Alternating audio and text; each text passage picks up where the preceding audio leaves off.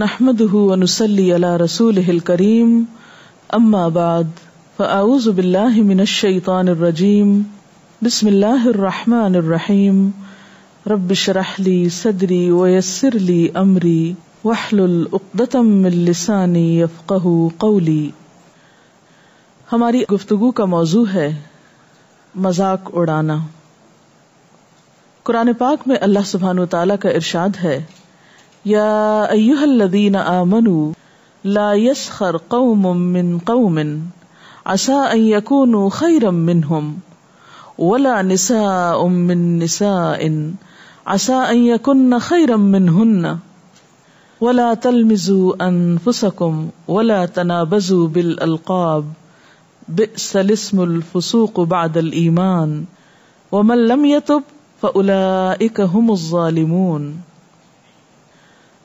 सूरत अल हुजरात की आयत नंबर 11 आपके सामने पढ़ी गई है। इसका तर्जुमा है ए ईमान वालो, मर्द दूसरे मर्दों का मज़ाक न उड़ाएँ। मुमकिन है कि ये उनसे बेहतर हों और न औरतें औरतों का मज़ाक उड़ाएँ। मुमकिन है कि वो उनसे बेहतर हों। और आपस में एक दूसरे को ऐब न लगाओ और न किसी को बुरे लकब दो। ईमान के बाद फिस्क में नाम पैदा करना बहुत बुरा है। और जो तौबा न करें, वही जालिम लोग हैं। इस आयत के इब्तदा में अहले ईमान को मर्दों और औरतों दोनों को अलग अलग ताकीदन कहा जा रहा है कि कोई किसी का मज़ाक न उड़ाए। मज़ाक उड़ाना इंतहाई बदअखलाकी की बात है। उमूमन इंसान दूसरे का मज़ाक उस वक्त उड़ाता है, जब वो अपने आप को दूसरे से बेहतर समझता है। इसीलिए अल्लाह ताला फरमाते, हो सकता है जिनका तुम मज़ाक उड़ा रहे हो, वो तुमसे बेहतर हो। मज़ाक उड़ाने वालों से ज़्यादा अच्छे हो। इसलिए मज़ाक उड़ाने वालों को कोई हक नहीं कि वो दूसरों को हकीर समझे। और यहाँ पर जो लफ्ज इस्तेमाल हुआ है, ला यस खर तो यसखर का लफ्ज जो है, ये सीन खे रे से है। इस मज़ाक उड़ाने में या इस लफ्ज के माने में हकारत और जिल्लत का पहलू पाया जाता है। यानी किसी को हकीर या कमतर समझकर उसका मज़ाक उड़ाना। ज़ाहिर है कि जिस शख्स को आप इज़्ज़त देते हैं, जिसकी आपके दिल में अहमियत होती है, आप कभी भी उसका मज़ाक नहीं उड़ाते। मज़ाक उसी का उड़ाया जाता है जिसको आप अपने से छोटा समझते हैं। नबी सल्लल्लाहु अलैहि वसल्लम ने फरमाया, अपने भाई से झगड़ा मत कर, उसकी हँसी मत उड़ा, और उससे वादा करके वादा खिलाफी न कर अगर हम इन तालीमत पर अमल करें तो हमारे बाहम मामलात और बाहमी ताल्लुकात किस कदर खुशगवार हो जाएँ। मज़ाक उड़ाना वैसे भी बुरा है, लेकिन कुछ चीज़ों का मज़ाक उड़ाना तो इंसान को हलाकत के गढ़ों में फेंक देता है। मसलन, अपने दीन का मज़ाक उड़ाना या दीनी शायर का मज़ाक उड़ाना, ये किसी मोमिन का काम नहीं हो सकता कि वो अल्लाह ताला की किसी बात का मज़ाक उड़ाए या उसके रसूल सल्लल्लाहु अलैहि वसल्लम की तालीम या किसी सुन्नत का मज़ाक उड़ाए। ये बात इसलिए की जा रही है कि अफसोस ये कि मुसलमान आजकल इतने तनजुल का शिकार हो चुके हैं कि बसा औकात अपने ही दीन का मज़ाक उड़ाने लगते हैं। तो ऐसा करना सरासर नुकसानदेह है। अगर कहीं आप किसी ऐसी मजलिस में हो, जहाँ दीन की किसी बात का मज़ाक उड़ाया जा रहा हो तो उसके बारे में कुरान पाक का हुक्म यह है कि फिर तुम वहाँ मत बैठो। यानी मज़ाक उड़ाने वालों की कंपनी इख्तियार करना, सोबत इख्तियार करना यह भी दुरुस्त नहीं। ऐसा ना हो कि तुम्हारा शुमार भी उनमें हो। और अगर वो लोग मज़ाक छोड़कर कोई और बात शुरू करें तो फिर उनके साथ बैठा जा सकता है। मज़ाक उड़ाने की एक शक्ल नकलें उतारना भी है। किसी शख्स के लिबास की नकल उतारना, उसकी गुफ्तगु की नकल उतारना और इस तरह मज़ाक उड़ाना यह भी दुरुस्त नहीं। हज़रत आशा रज़ी अल्लाह तला अनहा फरमाती हैं कि आप सल्लल्लाहु अलैहि वसल्लम ने फरमाया, मैं पसंद नहीं करता कि मैं किसी की नकल उतारूं खा मुझे इतना और इतना मुआवजा मिल जाए। यानी भारी रकम भी कोई दे और उसके एवज मुझे किसी का मज़ाक उड़ाने के लिए कहे तो मैं कभी ना उड़ाऊं। कभी किसी की नकल ना उतारूं। क्यों? इसलिए कि कोई भी शख्स अपनी नकल उतरवाना पसंद नहीं करता। जिसके अंदर भी कुछ गैरत हो, वो शख्स ये पसंद नहीं करता कि उसकी कोई नकल उतारे। तो अगर हम अपने लिए एक बात पसंद नहीं करते तो दूसरों के लिए कैसे पसंद करते हैं? मोमिन होने का मैार तो यह है कि इंसान अपने भाई के लिए वही पसंद करे जो वो अपने लिए करता है। आप सल्लल्लाहु अलैहि वसल्लम ने फरमाया, खुदा की कसम, वो शख्स मोमिन नहीं हो सकता कि जब तक वो दूसरे के लिए वही पसंद ना करे जो वो अपने लिए करता है। इसी तरह किसी की दिल आजारी और किसी की तकलीफ़ पे खुश होना यह भी दुरुस्त नहीं। यानी मसलन एक शख्स रो रहा है, या गिर गया, या उसको चोट आ गई तो उस पर हंसना यह भी नापसंदीदा है। नबी सल्लल्लाहु अलैहि वसल्लम ने तो यही तालीम दी है कि मुसलमान वो है जिसकी जबान और हाथ से दूसरे मुसलमान महफूज रहें। आपने ये भी फरमाया कि अपने मुसलमान भाई की तकलीफ़ पर खुशी का इजहार न करो। यानी अगर कोई किसी तकलीफ़ या दुख का शिकार है तो उस पर खुश मत हो। कहीं ऐसा ना हो कि अल्लाह ताला उस पर तो रहम फरमा दे और तुम्हें उस आजमाइश में डाल दे। इसी तरह साहब कराम बयान करते हैं कि वो नबी सल्लल्लाहु अलैहि वसल्लम के हमरा सफ़र कर रहे थे कि उनमें से एक शख्स सो गया। किसी ने जाकर उसके तीर छुपा दिए, यानी शरारतन। जब वो जागा तो डर गया। क्योंकि उसके तीर मौजूद नहीं थे। लोगों ने हंसना शुरू कर दिया। नबी सल्लल्लाहु अलैहि वसल्लम ने उनके हंसने की वजह दरियाफ्त की। तो उन्होंने बताया कि इसके तीर छुपाए गए हैं, जिस पर यह शख्स घबरा उठा और इसकी घबराहट पर अब बाकी हंस रहे हैं। तो आप सल्लल्लाहु अलैहि वसल्लम ने फरमाया, किसी मुसलमान के लिए ये बात जायज़ ही नहीं, दुरुस्त ही नहीं कि वो दूसरे मुसलमान को खौफजदा करे। यानी उसको परेशान करे। और आमतौर पर हम ऐसे ही हरकतें करके इंजॉय करते हैं।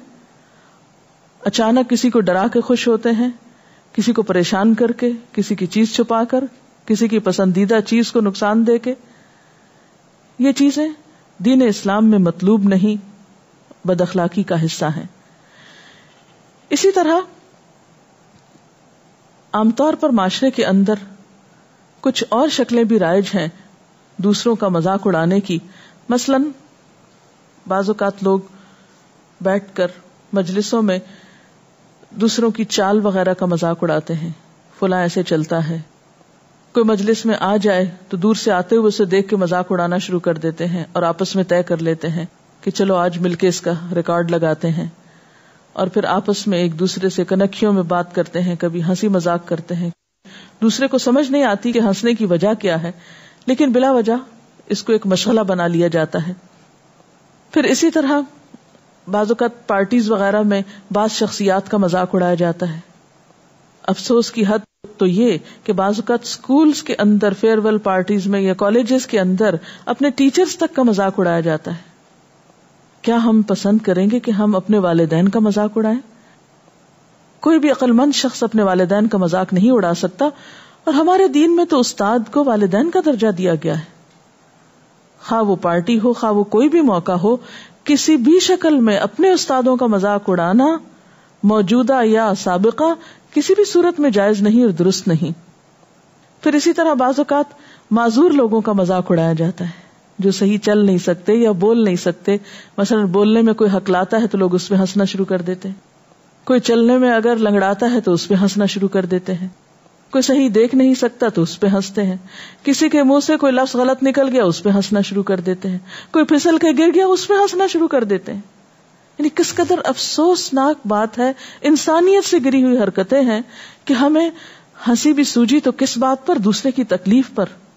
अगर हम अपने आप को वहाँ पर रख कर देखें तो कभी अपने लिए पसंद ना करें कि हम गिरे और चोट खाए और हम पर कोई हंसे।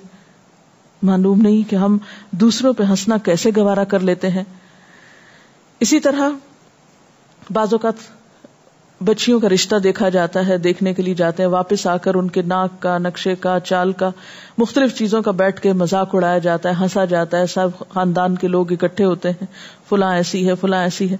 ये भी नापसंदीदा तरीके हैं। बाजुकात तो ऐसी रस्में भी मौजूद हैं कि मसलन लड़की के यहाँ अगर बारात आई है तो बारात में आने वाले मेहमानों का मज़ाक उड़ाया जाने लगा, कभी सास का, कभी नंद का, कभी किसी का। मुख्तलिफ़ ऐसे गाने वगैरह बने हुए हैं और वो गा गा कर बाहम हंसा जाता है और आने वालों की बेजती की जाती है। और यही चीज़ें फिर दिलों में तकद्दुर और दिलों में कदूरत का सबब बनती हैं जो बाद में ताल्लुकात की खराबी की बुनियाद बन जाती हैं। इसी तरह किसी पर तंजिया मुस्कुराना या किसी को मजलिस में देखकर आँखों में इशारे करके हंसना या तहकीर करना, ये तमाम चीज़ें नापसंदीदा हैं। ऐसी हरकतें किसी मुसलमान को जेब नहीं देती कि वो किसी के लिबास या चाल या गुफ्तगु की नकल उतारे या खुद उस पर हंसे, उसका मज़ाक उड़ाए या किसी और को मुतवजह करे। और खसूस किसी के नक्स या ऐब की तरह। हज़रत अबू हुरारा से रिवायत है, आप सल्लल्लाहु अलैहि वसल्लम ने फरमाया, एक आदमी अपने मुँह से एक बात निकालता है। और उससे उसके सिवा उसकी कोई गर्ज नहीं होती कि वो लोगों को हंसा दे। यानी वो महज लोगों को खुश करने के लिए अपने मुँह से एक बात निकालता है। और इस बात की शामत से वो इस कदर पस्त गढ़े में गिरता है जिसकी गहराई उस फासले से भी ज़्यादा है जो ज़मीन और आसमान के दरमियान है। यानी बाजुकात इंसान सिर्फ़ हंसाने के लिए गलत बात करता है और उसका इतना शदीद नुकसान उठाता है। और हकीकत यह है कि जबान की वजह से किसी इंसान का गिरना और फिसलना ज़्यादा तकलीफ़ दे है, उस गिरने से जो पाँव के फिसलने की वजह से हो। ये मिशकात की रिवायत है। आप सल्लल्लाहु अलैहि वसल्लम ने बहुत शिद्दत के साथ इस हदीस के ज़रिए लोगों को, दूसरों का मज़ाक उड़ाने से या किसी दूसरे की हँसी उड़ाने से मना किया गया है। यहाँ तक भी बताया गया है कि बसा औकात अगर एक शख्स दूसरे का मज़ाक उड़ाता है तो एक हदीस से यह भी पता चलता है कि अल्लाह ताला उस शख्स को तो उस मुसीबत से निकाल लेते हैं, जिसकी वजह से उसका मज़ाक उड़ाया जाता है और मज़ाक उड़ाने वालों को उस मुसीबत में मुबतला कर दिया जाता है। ये दुनिया में ऐसे शख्स की सजा है। लेकिन इसका यह मतलब नहीं कि हमारे दीन में हमें हंसने से मना किया गया है या मज़ाक से मना किया गया है। नहीं, कुछ जायज़ सूरतें भी हैं ऐसी कि जिनको सामने रखते हुए हम अपनी गुफ्तगु को हल्का फुल्का बना सकते हैं और गुफ्तगु में मजाह पैदा कर सकते हैं। लेकिन उसमें न तो किसी के ऐब या नक्स का मज़ाक उड़ाया जाता है न किसी की तहकीर मकसूद होती है, ना ही कोई गलत बयानी होती है, ना ही किसी को जलील खार किया जाता है, ना ही किसी के हसब नसब पे बात होती है। सिर्फ़ गुफ्तगु के अंदर ही ऐसे अंदाज होते हैं जिससे बात हल्की फुल्की भी हो जाती है और उसके साथ ही मजलिस में एक शगुफ्तगी भी पैदा हो जाती है, क्योंकि दीन सिर्फ़ इस चीज़ का नाम नहीं कि इंसान हर वक्त संजीदा ही रहे। तो अल्लाह ताला से दुआ है कि वो हमें दीन की बेहतरीन समझ बूझ अता करे, ताकि हम उन तमाम गलतियों से और खराबियों से बच सके, जो हमारे लिए दीन और दुनिया और आखिरत में रसवाई और मुसीबत का बायस हो। अब अगर आपके जहन में कोई सवाल हो तो आप वो कर सकते हैं। मज़ाक और मज़ाक में क्या फ़र्क है? मज़ाक में तो उमूमन किसी दूसरे की, किसी कमज़ोरी की तरफ़ तवज्जो दिला के हंसा जाता है या दूसरों को हंसाया जाता है।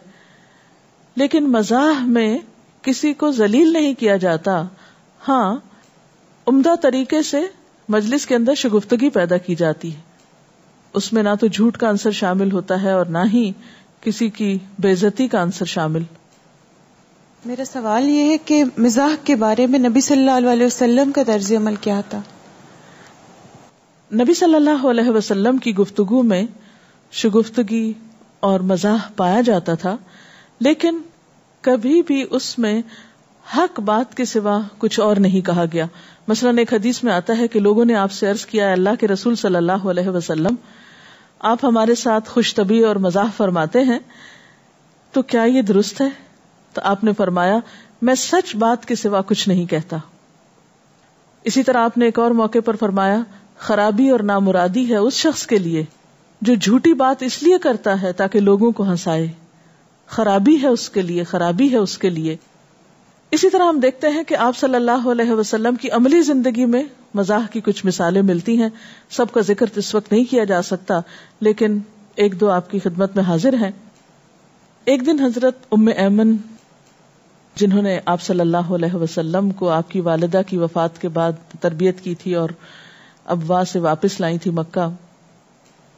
आप सल्लल्लाहु अलैहि वसल्लम उनकी बहुत इज़्ज़त किया करते थे तो एक दफ़ा आपके पास हाजिर हुई और एक ऊँट की दरखास्त की। नबी सल्लल्लाहु अलैहि वसल्लम ने फरमाया, अम्मी, आप ऊँट का क्या करेंगी? तो उन्होंने अर्ज़ किया कि आजकल हमारे पास सवारी के लिए कोई जानवर नहीं है, कहीं जाना हो तो बहुत दिक्कत पेश आती है। तो नबी सल्लल्लाहु अलैहि वसल्लम ने मुस्कुराते हुए फरमाया अच्छा तो मैं ऊँट का बच्चा पेश कर देता हूँ।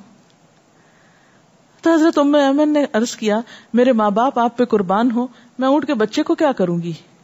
मुझे तो सवारी के लिए ऊँट की ज़रूरत है। तो आपने बहुत मोहब्बत से फरमाया, मैं तो ऊँट का बच्चा ही दूँगा। तो हज़रत उम्म अमन ने अर्ज़ किया, हजूर, ऊँट का बच्चा मेरे किस काम आएगा? तो आपने फिर फरमाया, अम्मी, आपको तो ऊँट का बच्चा ही मिलेगा। मैं उस पर आपको सवार करूँगा। इसके बाद आप सल्लल्लाहु अलैहि वसल्लम ने एक खादिम को सवारी के काबिल ऊँट लाने के लिए कहा और उसकी महार हज़रत उम्म अमन को पकड़ाते हुए फरमाया, जरा देखिए, ये ऊंटी का बच्चा है या कुछ और है? अब इसमें कोई बात हक के खिलाफ नहीं थी, किसी का मज़ाक नहीं उड़ाया जा रहा था। बहुत इज़्ज़त, अदब, एहतराम के साथ आप अपनी वालिदा को एक बात बार बार कह रहे थे। आप वसल्लम की सीरत से क्या और भी वाकयात मिलते हैं? जी हाँ एक मरतबा एक औरत हुजूर सल्लल्लाहु अलैहि वसल्लम की खिदमत में हाजिर हुई और अपने शौहर का तस्करा आपसे करने लगी। कोई बात करने लगी अपनी शौहर की? तो आप सल्लल्लाहु अलैहि वसल्लम ने फरमाया अच्छा तेरा शौहर वही है जिसकी आँखों में सफेदी है? तो वो आपके मज़ाक को समझ ना सकी। फ़ौरन बोली, नहीं है अल्लाह के रसूल सल्लल्लाहु अलैहि वसल्लम, मेरे शौहर की आँखें तो बिल्कुल बेदाग हैं। तो आपने फरमाया कि हर शख्स की आँख में स्याह हिस्से के अलावा सफ़ेद हिस्सा भी होता है। तो अब इसमें भी किसी का कोई मज़ाक उड़ाना नहीं था किसी ऐप की तरफ़ तवज्जो दिलाना नहीं था। लोग दीन के बारे में बड़े सीरियस एटीट्यूड रखते हैं। समझते हैं कि जो लोग दीन की तरफ़ आते हैं वो हँसते मज़ाक या मुस्कुराते नहीं हैं। तो क्या रसूल वसल्लम भी इसी तरह से थे? साहब कराम कहते हैं कि हमने रसूलुल्लाह सल्लल्लाहु अलैहि वसल्लम से बढ़कर किसी को भी मुस्कुराता हुआ नहीं देखा। यानी आप सबसे ज़्यादा मुस्कुराने वाले थे। और हदीस पाक में ये भी आता है कि तबस्सुम कफी वजह अखी का सदका। तुम्हारा अपने भाई को देख के मुस्कुराना भी सदका है। यानी मुस्कुराने के बारे में खास तौर पर तलकीन की गई और उसको सदका बताया गया है। कि आप किसी को और कुछ नहीं दे सकते, खूबसूरत मुस्कुराहट तो दे सकते हैं। और अगर इसमें भी कोई बुखल करे तो फिर वो दीनदार कैसे हो सकता है? आपने दौरान स्पीच ये बात कही कि किसी को जो आईनी अंदाज से देखना भी जो है एक नापसंदीदा अमल है। लेकिन अगर किसी को जूम आईनी अंदाज से इसलाह के लिए देखना कि वो अपना स्टाइल या अपना वे ऑफ़ टॉकिंग है या जो भी है, वो दुरुस्त कर ले क्या ये भी नापसंदीदा चीज़ मतलब अमल में आता है। अगर आप किसी ऐसे मकाम पर हैं जैसे वालदेन में से हैं या उस्ताद हैं, फिर तो दुरुस्त है। यानी एक उस्ताद को हक है कि अपने शागिर्दों को इस अंदाज में देखे कि वो उसके देखने से अपनी इसलाह कर लें। या वालदेन को हक है कि वो मुख्तलिफ़ अंदाज से बच्चों की तरबियत करें लेकिन हर इंसान को यह हक नहीं कि दूसरे इंसान पर ऐसी नज़र डाले जिससे वो घबरा उठे और परेशान हो और उसको समझ भी ना आए कि ये देखा क्यों जा रहा है इस तरह मुझसे। अगर किसी की अजीब आदत या फेल पर गैर इख्तियारी तौर पर हँसी आ जाए तो क्या करना चाहिए? उस हँसी को कंट्रोल करना चाहिए और उस शख्स से माफ़ी मांग लेनी चाहिए। इमाम बुखारी के बारे में आता है कि वो किसी शख्स से हदीस की रिवायत के लिए गए और वो नाबीना थे। तो उनके अंदाज पर इमाम बुखारी मुस्कुरा पड़े।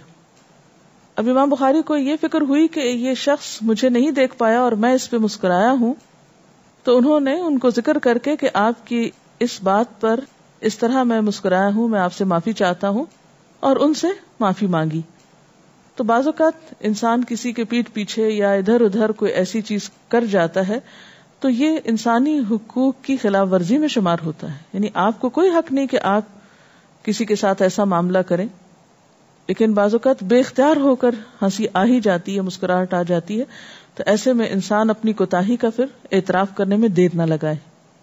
वाखिर दावाना अनिलहमदुल्ला रबालमीन सुबहानक अल्लाहुम्मा व बिहम्दिका नशहदु अल्ला इलाहा इल्ला अंता नस्तगफिरुका व नतूबु इलैक वस्सलामु अलैकुम व रहमतुल्लाहि व बरकातुहू